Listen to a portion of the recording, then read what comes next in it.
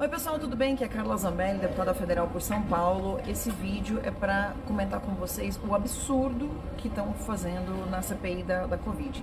Olha só, Randolfo Rodrigues acabou de, de perguntar, de dizer, né, de sugerir, na verdade, que o presidente da República editasse uma medida provisória para poder comprar a vacina no ano passado. Vamos lá, a vacina no ano passado não estava aprovada. Existe um documento que, inclusive, o G1 publicou, uh, em que a Pfizer fala diversas vezes em uma potencial vacina. E não estou fazendo potencial assim, eles vão colocar entre aspas, tá? Era potencial mesmo. Então vamos, vamos montar aqui um, uma possibilidade, né? Um cenário.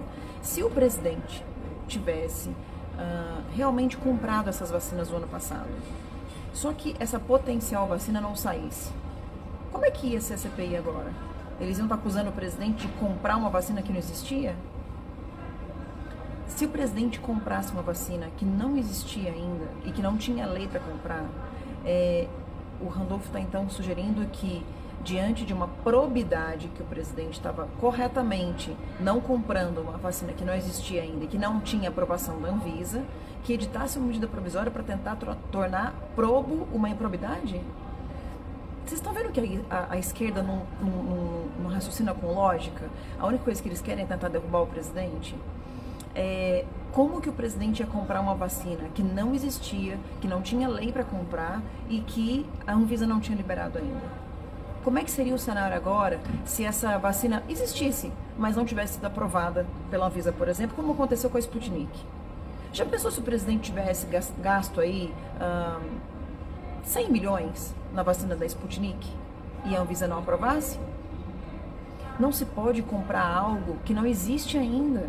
Isso é crime. O que estão dizendo que o presidente deveria ter feito é um crime. Crime de improbidade administrativa, crime de lobby, de advocacia administrativa, uma série de crimes. Então, eles estão querendo culpar o presidente por algo que o presidente fez certo. É por isso que eu vou continuar defendendo o presidente. É, é por isso que a gente, se precisar, vai peitar o Renan sim. Porque esse homem é suspeito. Vagabundo, é, que o Flávio usou ontem de adjetivo, é o mínimo. Ele não reúne nenhuma qualidade moral para estar tá ali relatando essa CPI. Esse é o grande ponto. Compartilha, espalha, porque as pessoas precisam ouvir a verdade.